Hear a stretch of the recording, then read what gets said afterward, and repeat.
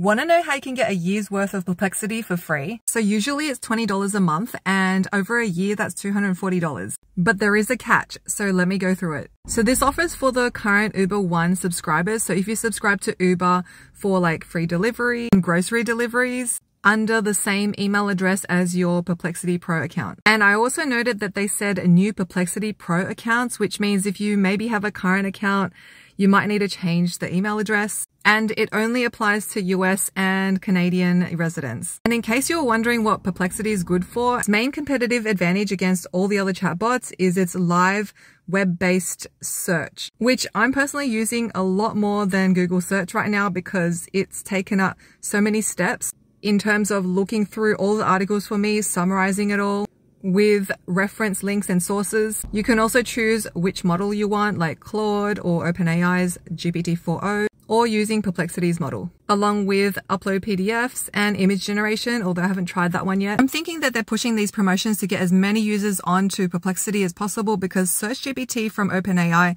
is coming out and basically claims that it can do pretty much the same thing, amongst other things that it's also really, really good at. That's just my take. Anyways, are you going to be getting Uber One and Perplexity? Let me know.